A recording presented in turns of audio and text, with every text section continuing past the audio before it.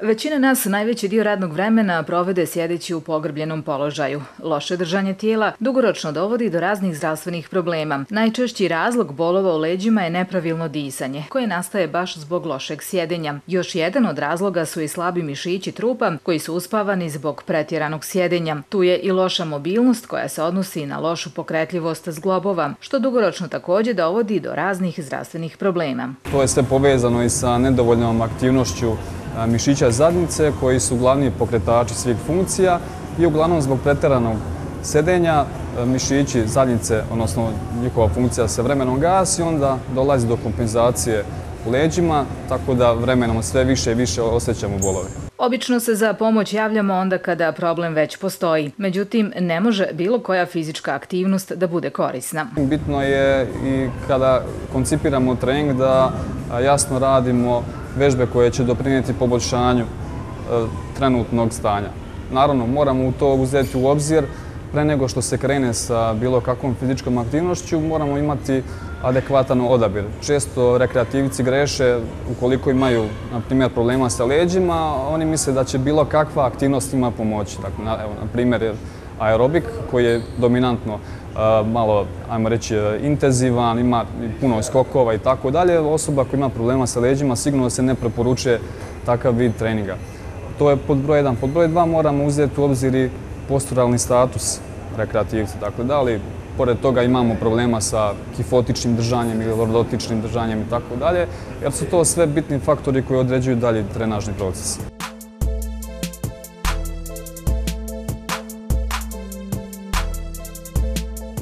Samo nekoliko laganih vježbica koje možemo uraditi i na poslu za radnim stolom mogu pomoći da bol u leđima popusti.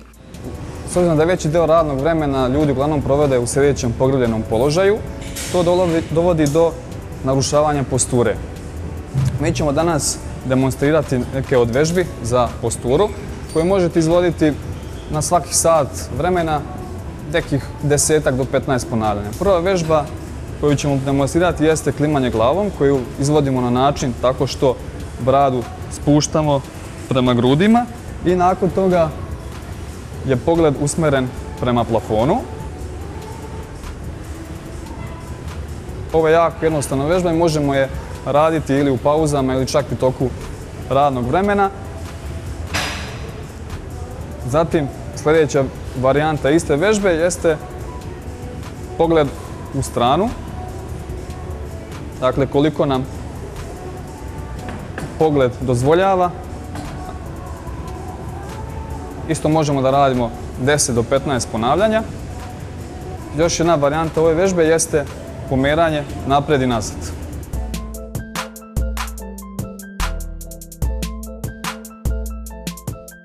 Jedan od bitnih segmenata u napređenju zdravlja kvaliteta života jeste rad na mobilnosti. Zašto? Pa upravo iz razloga zato što veći deo našeg vremena, kao što smo rekli na početku, provodimo uglavnom u sljedećem pogrbljenom položaju. Mobilnost se, ukratko rečeno, odnosi na pokretljivost zlobova. Mi ćemo danas demonstrirati nekoliko vežbi koje su namijenjene za mobilnost grudnog dela kičme. Prva vežba, ruke su ispružene, zatim otvaramo, odnosno radimo zasuk, otvaramo grudni deo kičme i pogled za rukom radimo na izmenično 10 do 15 ponavljanja.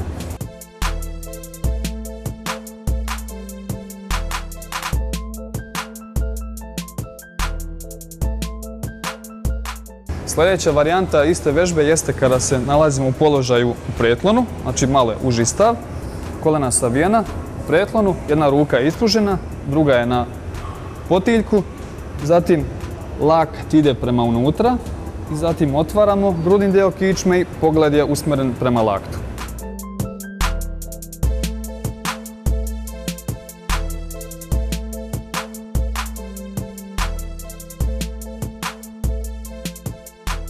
Jedan od razloga bolova u leđima je loše disanje, koje se također može korigovati vježbama. Upravo iz razloga što nepravilno disanje dovodi do problema, jednostavno vrat i ramena nisu odgovorni za obavljanje uloge disanja i zbog toga se brzo zamaramo i dolazi do bolova u vratu i ramenima.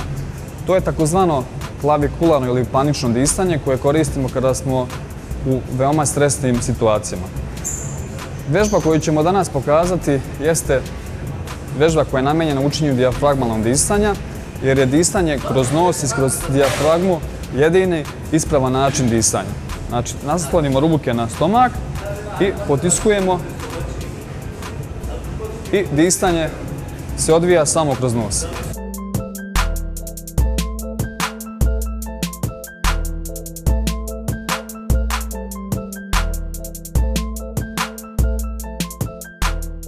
Za sve ove vježbe je dovoljno da izdvojimo par minuta nekoliko puta u toku radnog vremena, a naša leđa će nam biti zahvalna.